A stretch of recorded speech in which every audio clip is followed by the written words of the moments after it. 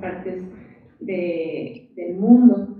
Eh, como ustedes lo conocen, pues saben que justamente la filosofía de la convivencia es eh, su área prioritaria de investigación. De hecho, él vino a animar esta línea de investigación cuando se incorporó con nosotros acá. Y bueno, vamos a cederle el uso de la voz. Muchísimas gracias, maestra. Y muchas gracias a ustedes eh, por presenciar esta presentación de, de este libro. Eh, otro motivo, aparte de los motivos que acaba de dar la maestra, de presentar este libro hoy, es que eh, el año pasado eh, tuvimos diferentes acontecimientos violentos en las escuelas, pero también los eventos violentos en nuestra sociedad continúan prácticamente todos los días. Y en la conferencia en, en el Trapiche, aquí de Colima, y también dos que yo presenté en, en Ciudad Guzmán, las maestras me preguntaban si nada más y nosotros presentábamos eh, los elementos que habíamos llevado ahí sobre la construcción de la paz nada más en esas escuelas porque ellos nos habían invitado o eh, de manera eh, común, de, manera eh, habitual, estamos promoviendo esta construcción de la paz en los lugares donde estamos. Y por supuesto, yo tengo que decirles que sí. Y nuestro trabajo no es solamente venir cuando nos invitan, pero tenemos también proyectos que estamos realizando y donde vamos reflexionando sobre las pautas de construcción de la, de la paz.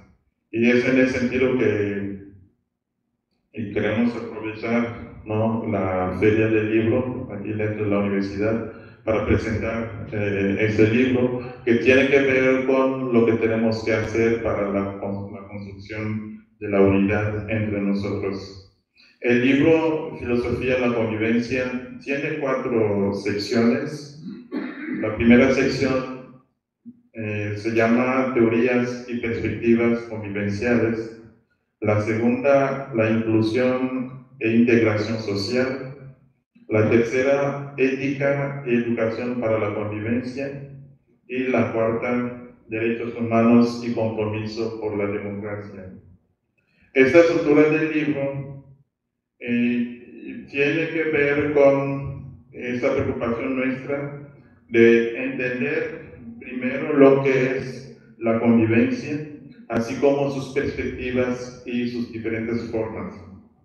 Y enseguida, la, siguiente, la segunda sección busca entender las condiciones para una convivencia sana, es decir, como ya lo decía, la inclusión de todos y la integración social. Y la tercera sección se refiere a la reflexión sobre los valores en la construcción de la convivencia. ¿Cuáles son los principios que deben de, determinar toda convivencia sana entre nosotros? Y la cuarta sección tiene que ver con la democracia pensada como una forma de vida en la cual los derechos humanos son la guía para la convivencia. Personalmente, eh, para esta presentación me llamó la atención tres trabajos eh, por su carácter intercultural, eh, es decir, por su carácter convivencial. Uno es el trabajo del doctor Carlos Lenkesdorf, que en paz descanse, ya tiene como cuatro años que se murió. El otro es del doctor Alberto Casanda, de Praga, y el, otro es del doctor Dante Ramaglia de eh, Mendoza, Argentina. En el primer trabajo del doctor Carlos Lengersdorf, lo que más me se titula el trabajo Conocer otras culturas desde la perspectiva de ellas o hablar de la convivencia desde la perspectiva de los que la viven. Cuando yo leo ese trabajo, incluso veo el título, evoco eh, ese dicho que yo escuché aquí, que dice, eh, a donde fueres, haz lo que vieres. ¿Qué significa eso? A menudo tendemos eh, a movernos de una universidad a la otra, de un poblado a otro, de una ciudad a otra, de un país a otro, de una cultura a, a otra. Y cuando estamos en frente de otras perspectivas, tendemos a verlas, a juzgarlas desde la perspectiva nuestra. Es decir, desde lo que nosotros hacemos, lo que pensamos y lo que creemos. Lo que dice Carlos es que para que haya una adaptación, para que haya una integración social, tenemos que ver las costumbres, ver los usos, ver las formas de convivencia de las personas que están viviendo esa convivencia, no directamente desde nuestro punto de vista. Porque si vemos desde nuestro punto de vista, hay mucha posibilidad de que no nos integramos, no nos integremos no nos adaptemos. Por eso él eh, pone en, contra, en oposición la manera de ver la sociedad en Europa y esa manera que se eh, implementó aquí en América Latina con la manera de ver, de vivir la sociedad de los pueblos indígenas tojolabales. Y se percata que en los pueblos tojolabales prevalecen conceptos como el nosotros, el nosotros que es el concepto clave para Carlos Lenkesdorf. Otro concepto que ve ahí es la escucha, el diálogo, la democracia, pero aquí la democracia está entendida en el sentido de las asambleas comunitarias de los pueblos indígenas tojolabales. Y el otro elemento importante que es el todo vive, todo vive. Ese último concepto es tan importante que permite la convivencia no solamente entre humanos, como entre nosotros, sino entre los seres humanos y los no humanos. Porque lo que dice es que todo vive, el todo vive, eso implica que cada cosa tiene su sentido. En cada cosa que existe, incluso en las piedras, hay una vida, es decir, fluye un cierto sentido de existencia que debe interesar y que también toda la sociedad debe promover. Y también este concepto del todo vive es el que permite realmente enlazar el discurso de la convivencia hoy en día entre humanos con el discurso de eh, la protección del medio, del medio ambiente. El segundo trabajo que quisiera rescatar es el trabajo del doctor Alberto Casanda de, de Praga. En aquel momento él venía de, de Bélgica. Él reflexiona sobre la convivencia desde los pueblos de África contemporánea. Casanda eh, dice que él quiere articular la convivencia a partir de los conceptos de territorio, de identidad y de diversidad cultural. Y desde esa articulación de territorio, identidad y diversidad cultural, entiende la convivencia como una forma de ser, como una forma de vivir y agrega sobre todo como una forma de estar juntos. Y esta forma de estar juntos equivale justamente al nosotros al que se refiere Carlos Lenkesdorf. Lo que implica que en esos dos trabajos eh, se conjuntan dos visiones, una visión de nosotros, de los pueblos indígenas, y otra visión del estar juntos de los pueblos indígenas africanos, lo que permite entender la convivencia desde la construcción de la comunidad. ¿no? Y aquí comunidad entendida como eh, la unidad de todos los que están participando. Sin embargo, ante un optimismo de construcción de la comunidad tal como el que expresa Carlos Legersdorf y Albert Casanda, el trabajo del doctor eh, Dante Ramaglia de Mendoza, Argentina, subraya curiosamente una paradoja en la integración latinoamericana, en la que él observa, por un lado, sectores fuertemente concentrados económicamente y por el otro, sectores marginados, excluidos y sobre todo esos sectores excluidos son la mayoría de la población. Él considera que tal paradoja puede calificarse como una desintegración, es decir, como una falta de convivencia. En otros términos, dice, se trata de lo contrario de lo que se persigue como convivencia sana y pacífica. De ahí entiende él la necesidad de escuchar como protagonistas a los actores y movimientos sociales excluidos a partir de las diferencias culturales, diferencias étnicas y también a partir de diferencias de género. Dice en sus reclamos que plantean como desafío para la convivencia la integración de, las diversidades existentes. Creo que aquí lo que presenta el doctor eh, eh, Dante es un reto para América, eh, América Latina y diríamos en términos de Martí para nuestra América.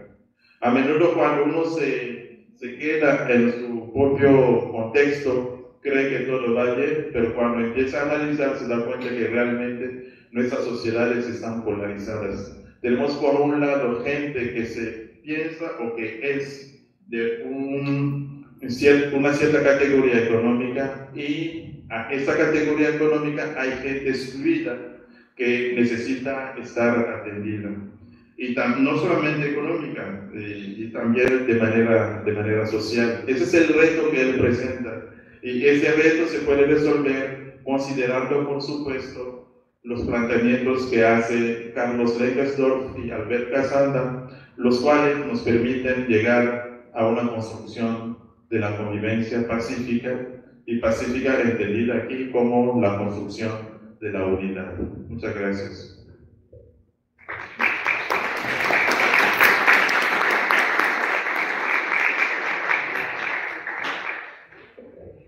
Muchas gracias, doctor Botu. Y me parece muy importante destacar esto que, que ha, ha hablado el doctor Botu, en el sentido de que la filosofía de la convivencia en este texto y en el trabajo que se realiza al interior del cuerpo académico pues tiene esta pretensión de ser una filosofía, como se le llama, situada, una filosofía que piensa la realidad concreta, la de la gente que vive, que convive. Eh, como ustedes saben, hay otra manera de hacer filosofía, que es una filosofía más abstracta, que pretende llegar a ideas más universales, pero que poco alcanza a ocuparse de esas realidades muy específicas y muy concretas, lo cual no quiere decir que sea mala, ¿no? En realidad siempre hay esa tensión entre lo universal y lo particular en cualquier dimensión de la, de la vida humana y todas estas expresiones que el doctor Guatu ha rescatado, que rescatan los autores de las colaboraciones en este texto, justamente tratan de hacer como este contrapeso. Si tenemos por un lado en Occidente esa idea de una igualdad universal del ser humano, un reconocimiento universal de los seres humanos, parece que no es suficiente y que necesitamos las particularidades de esas personas o de esos grupos humanos que no alcanzan a ser detectados por esas universalidades, esos criterios abstractos de ser humano, de justicia, de bienestar o de democracia, por ejemplo. Entonces, ese es el sentido de rescatar esas experiencias, digamos, por decirlo así, marginales, ¿no? Esas experiencias que no han sido incluidas en la reflexión sobre lo universal. Bueno, vamos a dar paso a la participación de nuestro segundo presentador o comentador del texto, que es el doctor Benjamín Panduro Muñoz. Igualmente, entre la comunidad de los estudiantes de filosofía, pues no necesita presentación, pero para nuestros invitados de otros planteles, bueno, él es profesor de tiempo completo en la Facultad de Filosofía, es uno de los fundadores de la, de la propia facultad, ya lleva muchos, muchos años trabajando aquí en, en nuestro plantel él es licenciado en filosofía y es maestro y doctor en ciencias sociales con, como un área de especialidad en, en historia. Y bueno, vamos a cederle el uso de la voz. Gracias. Bien, este, este libro, la Convivencia, este, intenta promover, destacar precisamente el, el proyecto de la Convivencia como una la filosofía de la convivencia es una perspectiva antropológica que este, considera que lo fundamental en el hombre es la convivencia. Las personas se configuran de manera este, constante en la convivencia. A diferencia de los animales que ya, este, que ya cuentan con un, con un, este, pues, con un instinto, con condiciones y modos de proceder, el ser humano se da forma, identidad y carácter en un movimiento constante de reconfiguración. Tradicionalmente se ha dicho que lo propio del hombre es la razón, ¿no? el animal racional. Sin embargo, pues vemos como el, el, el psicoanálisis, el vitalismo, el irracionalismo y demás han venido pues a cuestionar esta parte. Y bueno, también se dice que el hombre es un animal social, cosa en la cual coincidimos por la sociabilidad. Eh, sin embargo, tenemos algunas cosas este, que rescatamos, puesto que esta perspectiva del son político este, pues, nos lleva a, a, una visión más que parte de la ética y, y llega a la política, cosa que es distante de nuestra situación real. Hoy vemos que los políticos pues, no son los más éticos. En la teoría filosófica es deseable, ¿no? en, la, en, la, filosofía clásica es deseable que la, la, política es una prolongación de la ética. Sin embargo, no es el caso. Y en ese sentido, pues hace falta hacer una filosofía, se necesita hacer una filosofía de la convivencia en ese sentido, donde se toma como la convivencialidad como un rasgo fundamental este, también, pues, por ejemplo, Platón habla de, del, del, animal simbólico, ¿no? el, el este, son ¿no? El, el, animal simbólico, el ser la, la expresión como algo fundamental también que configura al hombre. Claro que coincidimos con estas perspectivas, sin embargo, bueno, caemos en la cuenta de que es muy importante hacer filosofía de la convivencia en este momento. La cultura no es otra cosa que la muestra fehaciente de esta actividad convivencial, donde se van generando pautas de conducta deseables, criterios, modos de pensar, modos de actuar. Y así podríamos empezar, ¿no? Pero fíjense, tal vez el primer reparo o cuestionamiento sobre esta idea de suponer que lo propio en el hombre es la convivencia, es la violencia y no la, y no la convivencialidad. Coincidir con, con, por ejemplo, Hobbes sobre la, la popularización que hizo de la frase Homo hominis lupus, Homo homini lupus, que quiere decir que el hombre es el lobo del hombre, en realidad esta frase no es de Hobbes, Hobbes la, la popularizó, pero ya Plauto, por ejemplo, en un texto, este, bueno, en una obra teatral, habla y dice que lupus es homo hominis, y, y sigue, o sea, aquí dice más claramente, o sea que esta frase ya estaba pues antes, ¿no? Ya desde el siglo II antes de Cristo ya, ya se conocía esta frase. Sin embargo, bueno, este, realmente es cierto que lo propio del hombre es la violencia.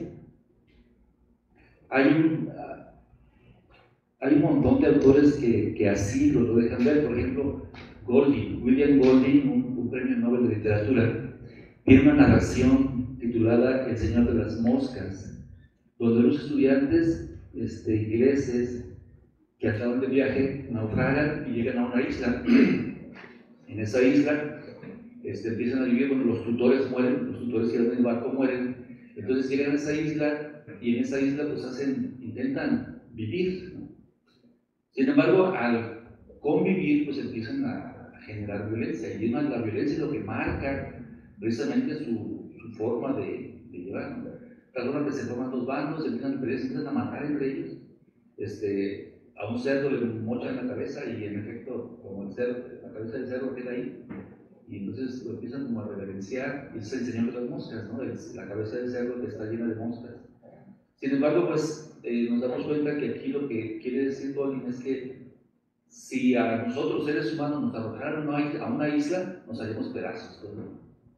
Incluso afortunadamente llegaron a rescatarlos antes de que perecieran todos, pero la lógica es que se iban a estar matando un bando a otro bando, un bando a otro bando, hasta quedar a que uno triunfase o se eliminasen todos.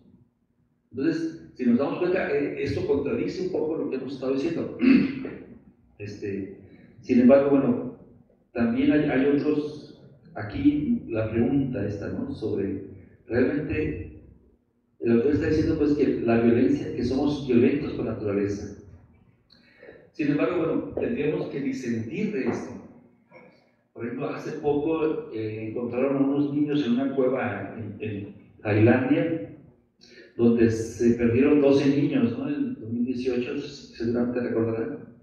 O sea, también eran niños y bueno, guardaron un montón de, o sea, ahí se cuidaron, Entonces, lo que sostenemos, y también hay, hay muchos argumentos para decirlo, es que este, lo propio del ser humano es el apoyarse.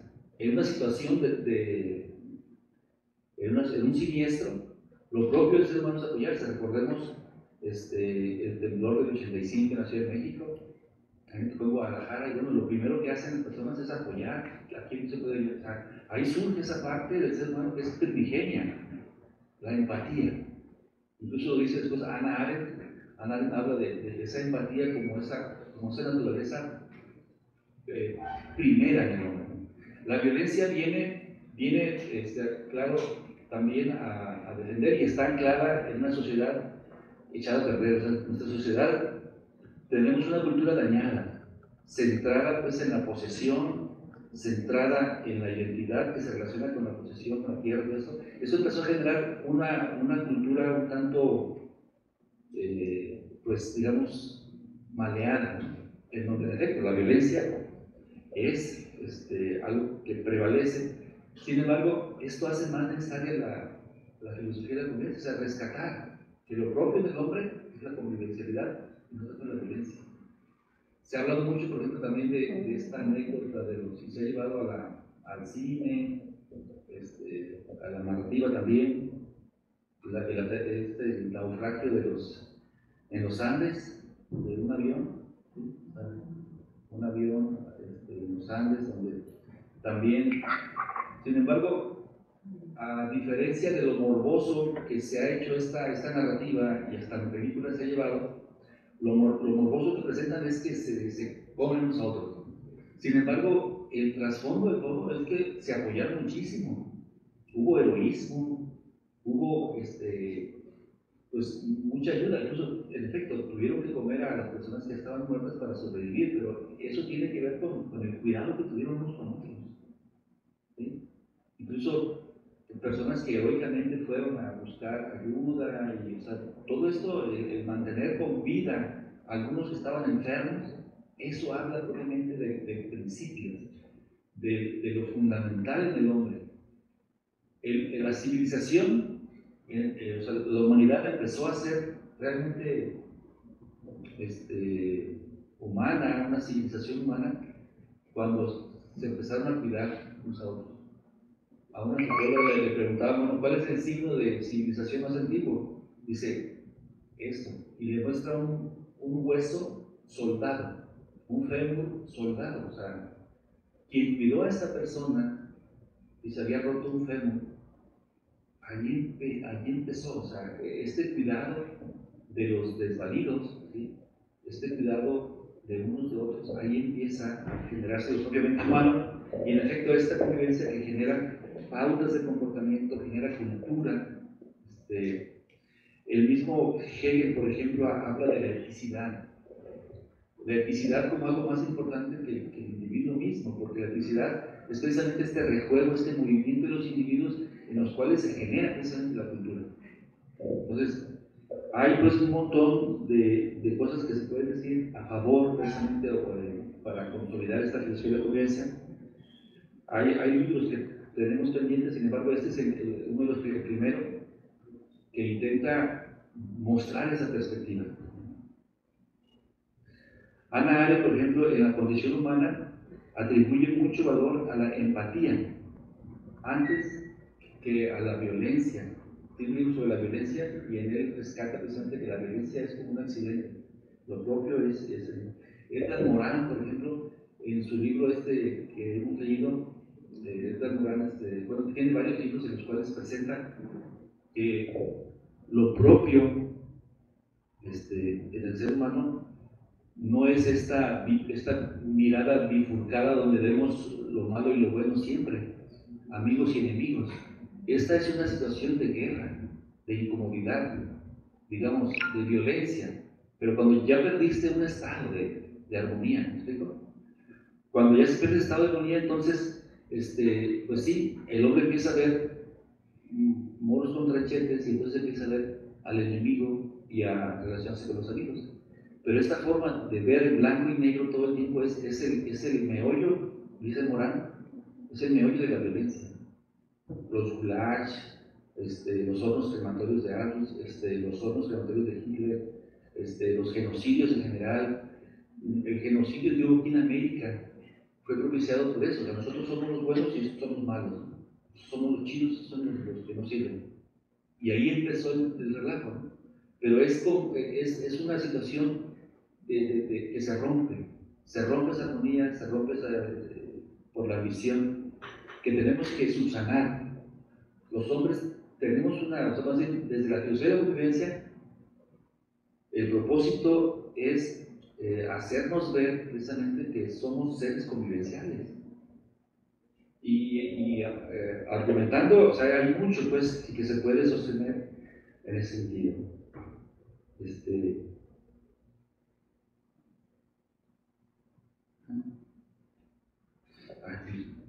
ya ni veo. Yo, dices que no Pero bueno, eso es lo que les quería contar. Este, la, ¿Tengo un poquito? Sí. Entonces, esta razón convivencial eh, es, es precisamente. No, no, puedo ver lo que yo escribí. Pero bueno, eh, esta es la idea de, que les quería contar que la, filosofía de convivencia es una perspectiva y es una perspectiva necesaria. Necesaria hoy día el hecho de mostrar precisamente que lo propio en el, ser humano está, está relacionándose constantemente y cuidar eso. Cuando ya pensamos que somos una cosa X, es porque ya estamos enajenados. Cuando ya hay una cuando detenemos la identidad y ahí la paramos, es porque dejamos de ver otro.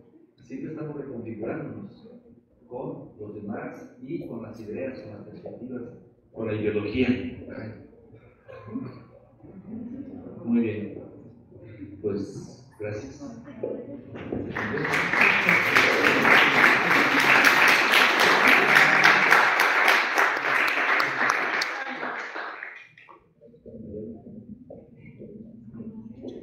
Bueno, muchas gracias a nuestros dos presentadores. Eh, yo he tomado algunas notas de lo que han dicho, no tanto para este, incrementar, digamos, la participación, sino simplemente para, para ilustrar algunas cosas que se han dicho aquí. Bueno, decía Benjamín, esta idea de que en el ser humano hay una esencial, con natural bondad y propensión a la, a la convivencia pacífica, me hizo recordar en una reflexión que se hace sobre la actividad médica, uno de los médicos que hacen la reflexión sobre la ética médica decía que la esencia, la naturaleza muy, muy básica de la medicina es el ver sufrir a alguien e intentar aliviar ese sufrimiento. Y que está, en ese sentido la medicina es una vocación humana, no es una vocación de, una, de un gremio, vaya, sino que todas las personas tenemos una vocación médica en el sentido de que ahí donde vemos que alguien sufre, se nos viene ese impulso, ese resorte natural para ayudar a que esa persona deje de sufrir. Y esto lo podemos extender a cualquier situación humana, ¿no? Ahí donde vemos que hay dolor, donde vemos que hay precariedad, donde vemos que hay sufrimiento, pues tenemos ese impulso porque eso, eso pare. Quizás hacia la esencia. Por otro lado, eh, he leído bastante sobre el tema de sobre conflictos y una constante que se puede ver en el análisis del conflicto es que cuando el conflicto sucede y empieza a escalar, algo que me llama mucho la atención es que se suele decir, el conflicto eh, adquiere su propia fuerza y su propia dinámica y entonces los sujetos que están en el conflicto dejan de ser dueños del conflicto, es decir, ya se quedan a merced de la lógica misma del conflicto, lo cual me hace pensar que, justamente es, es contra natura el conflicto, ¿no? O sea, en la base, cuando, cuando todavía no ha crecido el conflicto, es cuando todas las personas están en posibilidades de negociar, de llegar a acuerdos, pero cuando el conflicto los rebasa, entonces se les escapa y deja de ser eso lo típicamente humano, ya se vuelve un ente, digamos, por sí mismo, que rebasa las mejores intenciones de las personas, que son las que están ahí en la base de nuestra naturaleza. Bueno, pues este es el espacio para que ustedes puedan formular preguntas, comentarios, algo que decir a nuestros comentaristas de esta mañana, por favor. Sí, Tino. No sé si alguien nos ayude a llevar el micrófono. Eh, yo tengo dos preguntas. La primera es, ¿qué es, eso que llaman convivencia? Porque de repente, como que caben muchas cosas en el que se maneja como convivencia. Y luego la segunda pregunta es, este, si en verdad son conceptos o términos antinómicos, eh, la convivencia y la violencia o la agresión, porque yo veo de repente que entre los jóvenes la forma como se hacen en la convivencia o se relacionan, a veces en esa convivencia se dan agresiones, se dan violencia, es parte de, de la forma como conviven.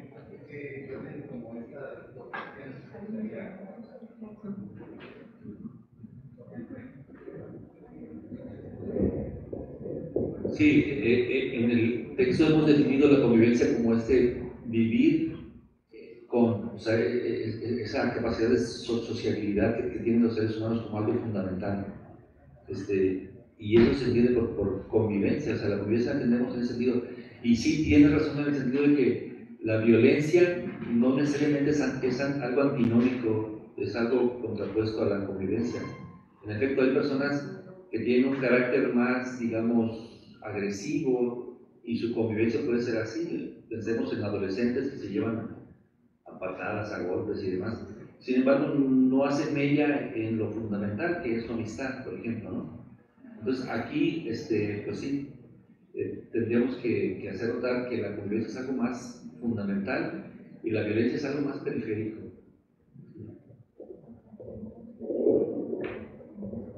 Eh, yo quisiera puntualizar eh, simplemente que cuando hablamos de convivencia se trata del compartir experiencias de vida, de experiencias vividas.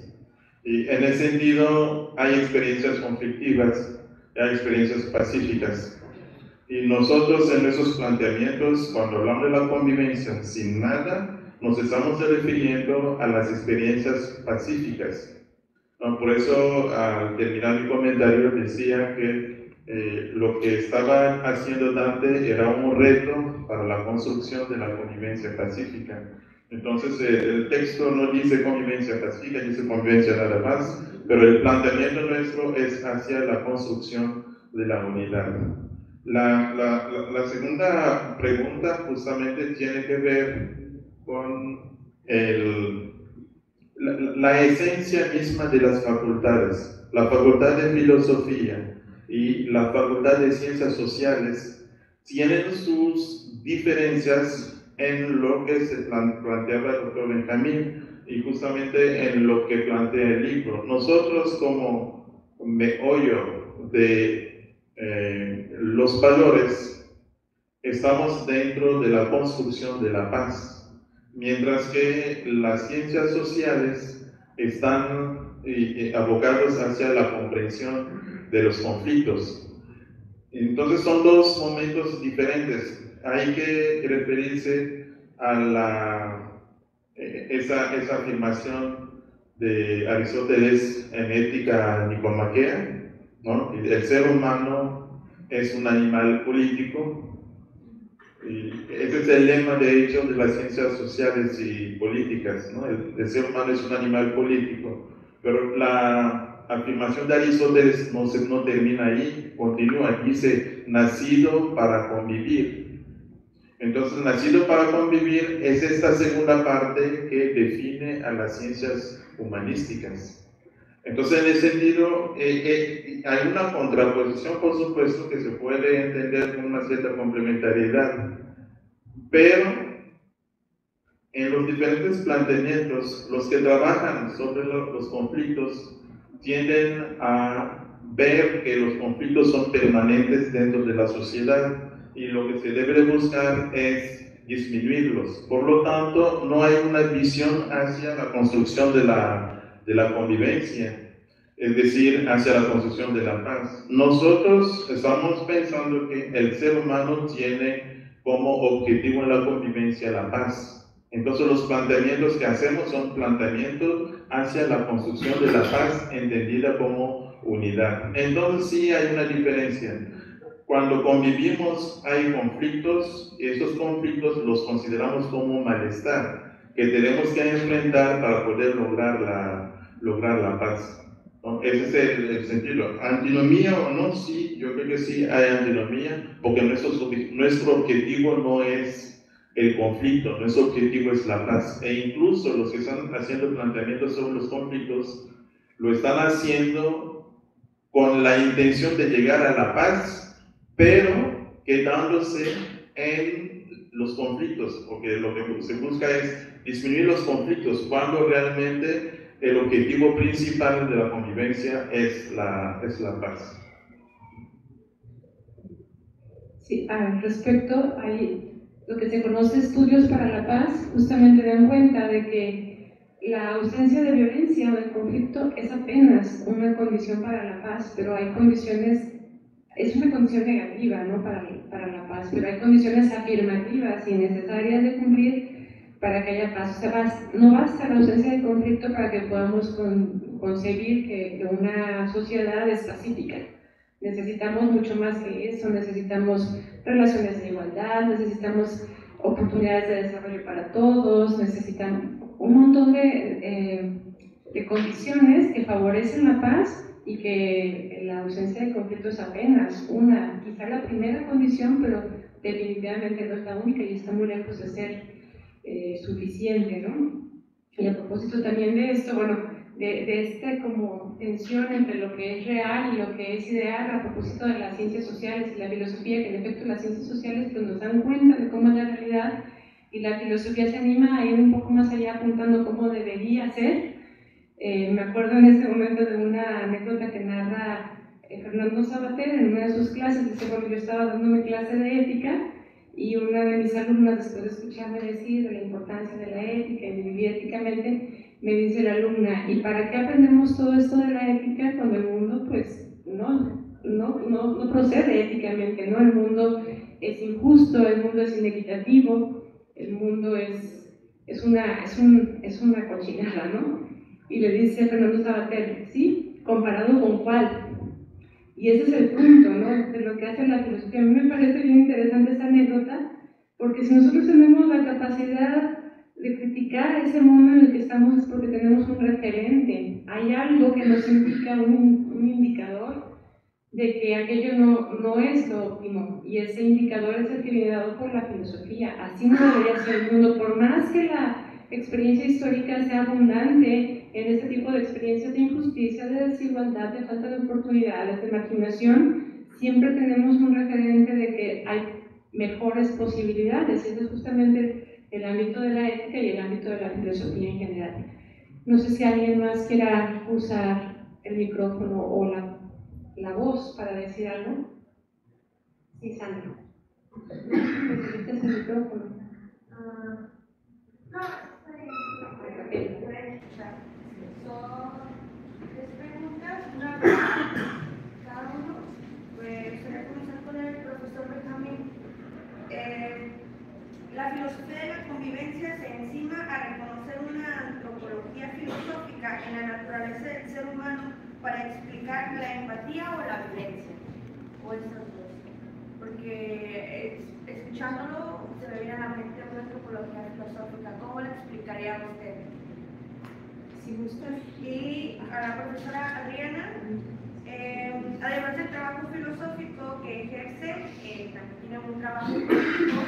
Eh, recuerdo que tiene una licenciatura también en Derecho. Entonces, desde su perspectiva, dado que al escuchar Derecho y filosofía me causa como un problema moral, ¿no? Un dilema moral que se asoma por ahí. Entonces, desde su perspectiva, eh, cómo se encuentra al enfrentar el sistema económico monstruoso y cómo describe la convivencia pacífica. ¿Solo esos dos o también? Y al doctor Watson. Eh, doctor Watson, usted plantea una ética aristotélica en la cual la convivencia es el concepto central que emite la paz como unidad ¿Y de qué hablamos cuando plantea filosofía de la convivencia? ¿Desde una contribución meramente teórica o que implementa una filosofía aplicada? Si gustan, vamos en el orden en que plantea las preguntas. Sí, eh, en efecto, desde la filosofía de la convivencia se hace una antropología filosófica de la convivencia, donde se percibe a la convivencialidad como algo fundamental. La violencia es algo este, que viene a darse es una situación este, de desacomodo, de desorden, es la ausencia de convivencia precisamente. Y en ese sentido, cuando se hace investigación, en ese sentido este, estamos conscientes que la investigación, la antropología filosófica, intenta manejar un objeto dinámico que está transformándose. Por ejemplo, este, eh, y bueno, criticamos mucho los, a la sociología, a las ciencias sociales. Hay algunas eh, eh, investigadores de ciencias sociales que se consideran muy positivistas e intentan mostrar como una radiografía, como si fuesen ingenieros sociales, intentan mostrar una radiografía de lo que sucede en la sociedad, que en efecto mucho es violencia, mucho es intransigencia, mucho es todo eso, ¿no? Sin embargo, la investigación antropológica que se puede hacer desde la filosofía este, tiene que ver con, con, mostrar, con ver, pero también como reflexionar fondo. O sea, una investigación filosófica en ese sentido siempre va a reconfigurar en lo investigado lo mismo que se está planteando. Por ejemplo, si estamos eh, preguntándonos sobre algunos criterios, algunos valores ya al cuestionar a una persona con respecto a un valor, ella se está repensando esto. Entonces, el ser humano es dinámico. Entonces, yo no puedo hacer una investigación social y tener una radiografía de ustedes y ya me quedé con esa radiografía y esa radiografía es así, ¿no? En realidad no, por esto, porque estamos todo el tiempo conviviendo, se está moviendo.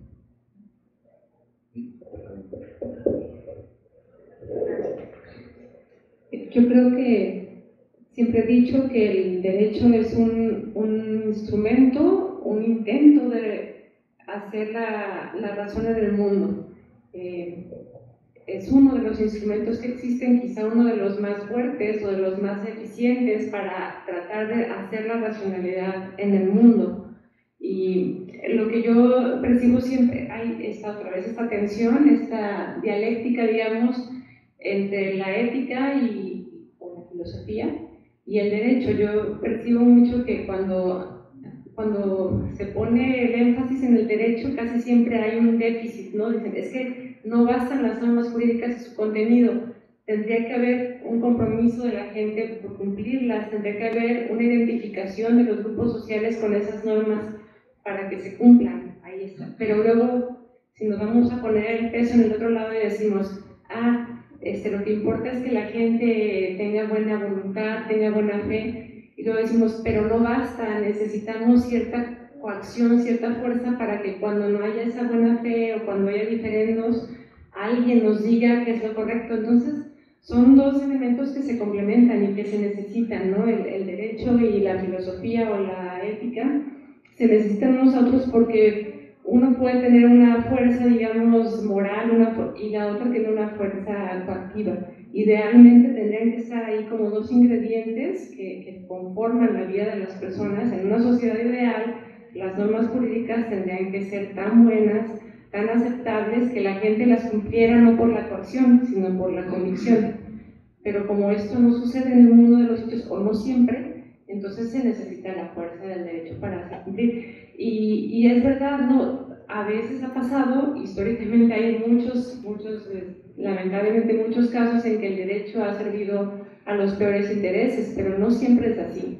En la medida en que las, personas pueden participar en la configuración de, de los criterios normativos, en su interpretación, por, yo defiendo mucho la institucionalidad, no por vías institucionales, no, no por vías así como de, de ocurrencia, a mis compañeros no piensan igual, pero a mí me parece que la, participación de la sociedad es muy importante en, en, la, en, que las personas puedan identificarse adecuadamente con, con, los contenidos de las normas jurídicas y que las hagan legítimas, que, que legitimadas.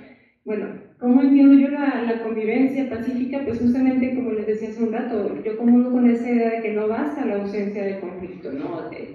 Es, claro, en este momento, aquí en, en México mismo, aquí en este campus, por ejemplo, no estamos viendo conflicto visible, evidente, pero hay conflicto. No están dadas suficientemente las condiciones, por ejemplo, para que todas las personas puedan desarrollarse en un proyecto de vida libremente elegido y construido. No para todos es lo mismo, ¿no? No todo el mundo puede hacer eso.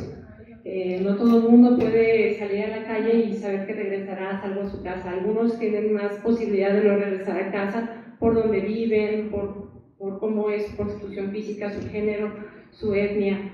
Eh, no todo el mundo puede acceder a la, educación, por ejemplo, porque sí depende mucho de dónde vienes, cuánto puedes pagar por ello. Entonces, no estamos en, eh, todo eso eh, hace que no vivamos plenamente la paz, ¿no? hay conflicto ahí subyacente y, bueno, la convivencia pacífica es mucho más que el hecho de que no haya balas o que no haya agresiones. Eso sería muy bueno, pero no es suficiente. Eh, muchas gracias, Sandra. Eh, nada más, eh,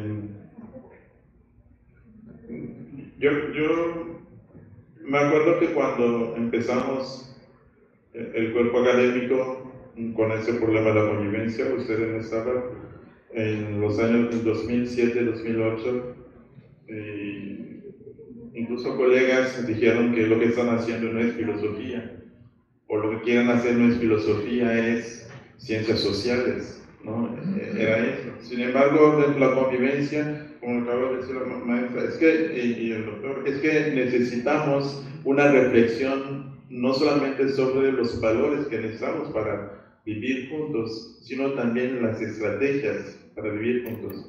Y verán que de manera general, eh, sí, no estamos, o yo personalmente, no estoy hablando sobre estrategias para eliminar los conflictos, porque el objetivo de las humanidades es la paz. Entonces, debo buscar estrategias para la construcción de la, de la paz.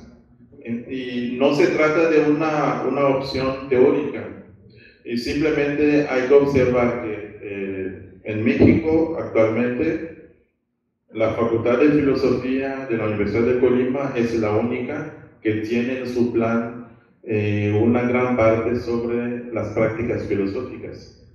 Pueden checar en la UNAM, en cualquier otra eh, facultades de filosofía, no hay, un, como diría, asignaturas que se refieren especialmente a las prácticas filosóficas.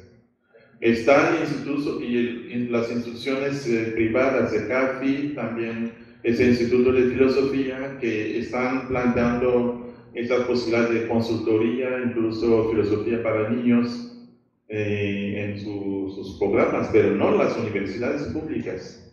Entonces, esa opción nuestra fue una opción que tiene que ver con nuestro compromiso con la construcción de la, la construcción de la paz. Cuando, y desgraciadamente mm, no fuimos con ustedes, eh, sí optamos por eh, reflexionar con los pueblos marginados. ¿no? Por eso nuestra eh, idea de ir a hacer talleres de filosofía para niños en Zacualpan, hoy en día, Real de Minas, bueno, la colonia que está muy atrás, eh, sigue siendo todavía marginada, pero las colonias que construyeron hace, hace poco ya son totalmente diferentes, no son tan marginadas. Ahí fuimos, el hecho de ir cuando fuimos a las galeras al norte de, de Colima, era con esa opción porque pensábamos que para poder cambiar las cosas tenemos que trabajar con los niños. Y porque si cambiamos a los niños, o ni, ni necesariamente cambiarlos, sino si presentamos a los niños la posibilidad de que tengan ellos su criterio para poder actuar, eso permitiría cambiar el futuro de, de, nuestra sociedad. Y, lo mismo, las diferentes opciones para la consultoría filosófica tienen que ver con llevar la filosofía a la sociedad, llevar la filosofía a la práctica, es decir, hacer una filosofía aplicada. Entonces, no estamos hablando aquí de eh, algo simplemente teórico, pero sí necesitamos la teoría para saber qué es lo que vamos a hacer. Entonces, esa es, es, yo creo la, la diferencia. Eh, personalmente, cuando leí el trabajo de Alain Touraine, no entendí el trabajo. Los capítulos me parece que no tienen nada que ver con el título, pero el título me parece interesante. Podremos vivir juntos, iguales y diferentes. Está aquí el libro en la biblioteca, lo tenemos también ahí en la facultad.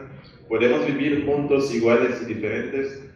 Eso no es una pregunta teórica, es una pregunta que llama la participación, el compromiso de todos por la paz. Gracias. Y bueno, ya con el tiempo encima, creo que ya es momento de cerrar esta presentación. No sin agradecer la presencia de todos ustedes, la gestión de nuestra directora, eh, la maestra Isabel, que hizo todo lo posible para que este evento pudiera realizarse en este día, esta mañana, para que pudieran ustedes estar aquí. Las gestiones de Gaby, muchas gracias, también de la maestra Sandra, de todos los que han colaborado para que pudiéramos tener este evento. Muchas gracias, te doy la...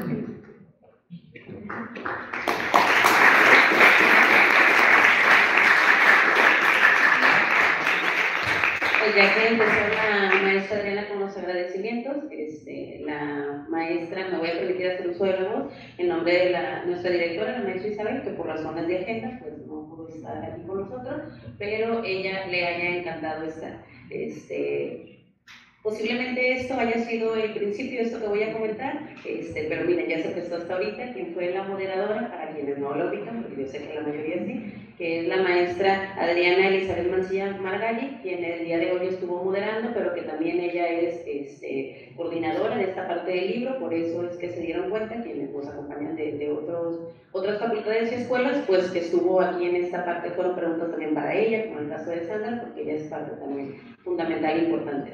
Agradecer al doctor Guardia y al doctor Benjamín pues, por comentar este su libro. Este, y pues aquí la mayoría y predomina los alumnos de la facultad que se hicieron presentes y alumnos que veo de bachillerato 4 y de la facultad de pedagogía. Muchas gracias. Proceder a hacer eh, la entrega de constantes, que con eso es como culminaríamos.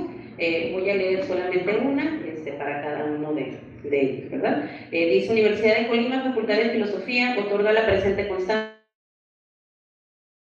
por su participación en la presentación del libro Filosofía de la Convivencia, realizada en el marco de la Feria del Libro al Texto 2024 en el Auditorio de Humanidades el día jueves 30 del presente mes y año. Atentamente, estudia, lucha, trabaja. Villa de Álvarez, Colima, México, mayo 2024. Firma nuestra directora, la licenciada en Filosofía, María Isabel Rodríguez Barragán. Esta, como les dije, pues bueno, los mismos para el doctor Guatu, Homer Guatu Patubengue y al doctor Benjamín Padrón cual les pido un fuerte aplauso. Muchas gracias.